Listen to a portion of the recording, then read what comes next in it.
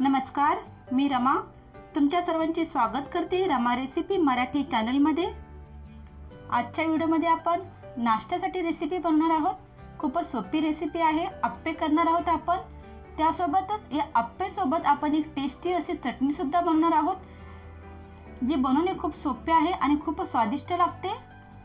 Recipe सुरू करण्याच्या अगोदर जर तुम्ही रमा रेसिपी मराठी चॅनलवरती पहिल्यांदाच आला असाल तर प्लीज चॅनलला सबस्क्राईब करा.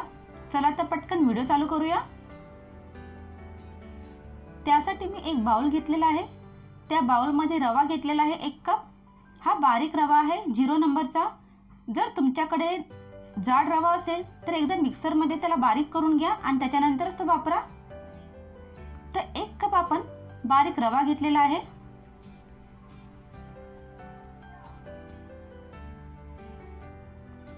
एक कप रव्यासाठी आपण अर्धा कप दही घेणार आहोत. ही घरची दही आहे त्याच्यामुळे आंबट नाही. त्यासोबतच आपण यामध्ये अर्धा कप पाणी सुद्धा टाकणार आहोत.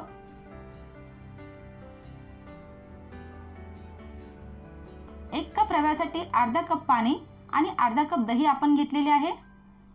सर्व आपण व्यवस्थितपणे मिक्स करून घेऊया. दही आंबट असेल तर आप्पे सुद्धा आंबट होतील. त्यामुळे दही साधेच असे घरचे असतील ते वापरा. व्यवस्थितपणे आपण मिक्स करूया जेणेकरून रव्याच्या गाठी राहणार नाहीत. अशा पद्धतीने छानपैकी मिक्स करा.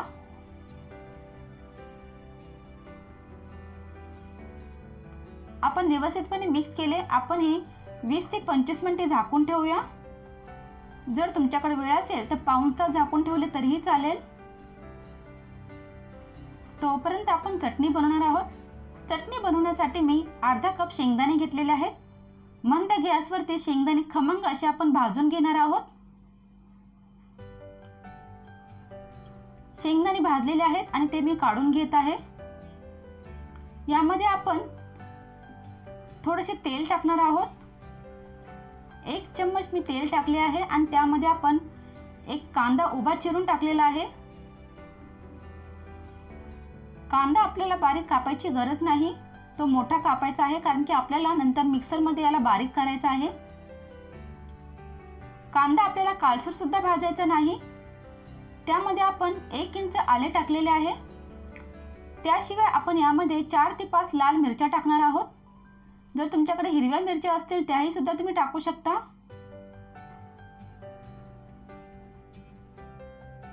अर्धा चमच जिरे टाकलेले आहेत मी. मध्यम गॅसवरती आपण हे सर्व मसाले व्यवस्थितपणे भाजून घेऊया. अशा पद्धतीने आपण जेव्हा चटणी भाजून करतो तेव्हा खूप टेस्टी बनते. आता त्यामध्ये मी थोडीशी चिंच टाकणार आहे जेणेकरून चटणीला आंबटपणा येईल. चटणी बनवणे खूप सोपे आहे अशा पद्धतीने बनवून पहा खूप टेस्टी लागते. कांदा छानपैकी भाजलेला आहे. आता आपण हा कांदा काढून घेऊया.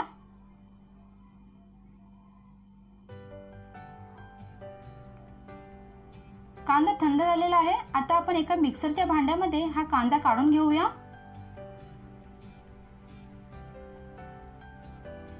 यामध्ये आपण जे शेंगदाणे भाजलेले आहे ते शेंगदाणे टाकायचे आहेत तुम्हाला हवे असेल तर तुम्ही शेंगदाण्यावरची साल काढू शकता. मी काढलेली नाही.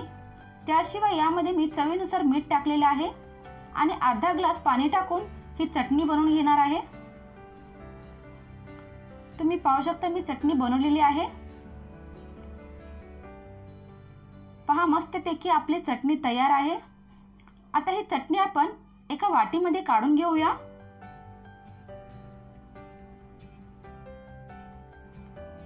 यामध्ये आपल्याला आणखीन एक साहित्य टाकायचे आहे. ते म्हणजे मी यामध्ये दोन चम्मच दही टाकणार आहे. जर तुम्हाला दही यामध्ये टाकायचे नसेल तर तुम्ही हे स्किप करू शकता. टाकलं नाही तरीही चालेल. व्यवस्थितपणे मिक्स करूया. म्हणजे दही चटणीमध्ये व्यवस्थित मिक्स होईल.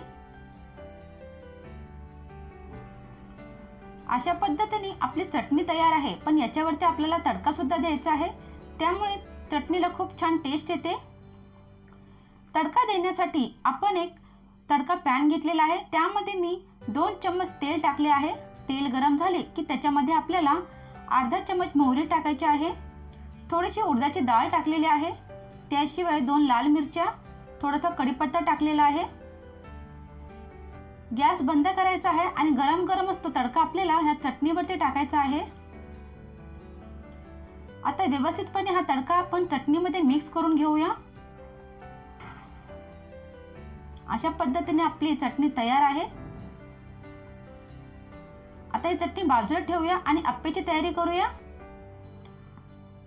अप्प्यामध्ये आपल्याला तडका टाकायचा आहे.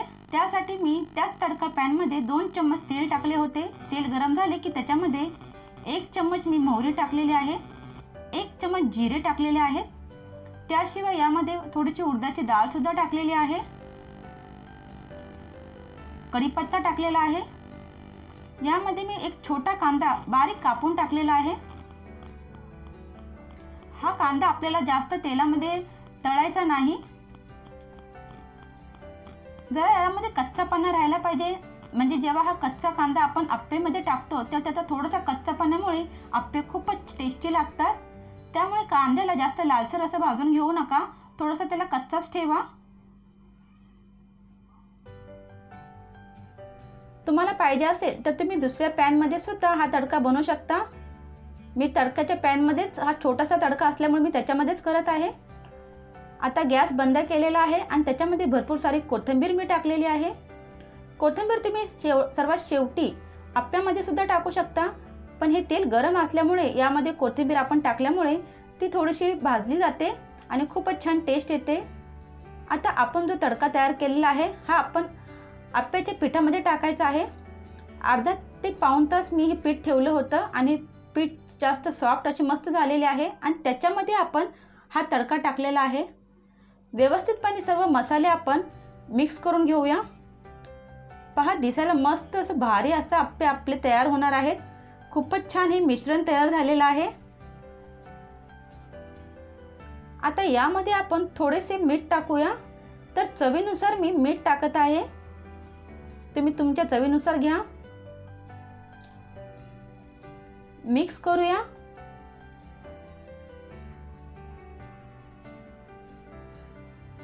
मीठ व्यवस्थितपणे ह्या मिश्रणात मिक्स करून घ्या. मिश्रण थोडेसे घट्ट आहे त्याच्यामुळे मी याच्यामध्ये अर्धा कप पाणी टाकत आहे. पाणी टाकल्याच्या नंतर पुन्हा एकदा आपण हे व्यवस्थितपणे मिक्स करून घेऊया.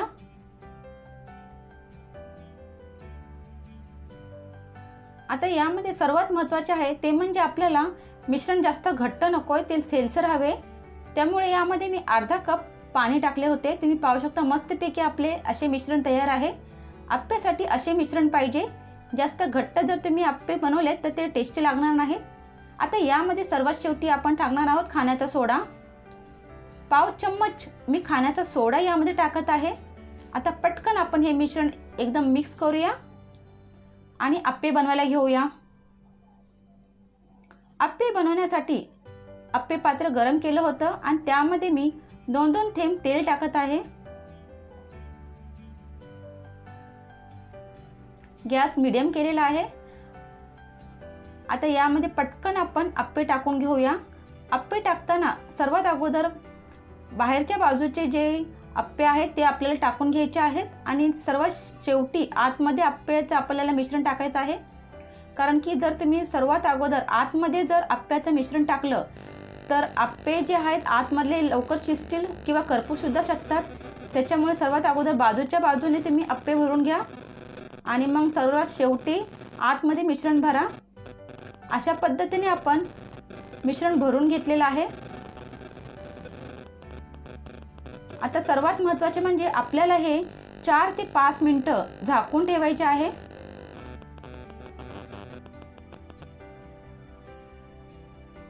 चार ते पाच मिनटं झालेले आहेत आणि तुम्ही पाहू शकता आप्पे वरती सुकल्यासारखे झालेले आहेत कोरडे दिसत आहेत.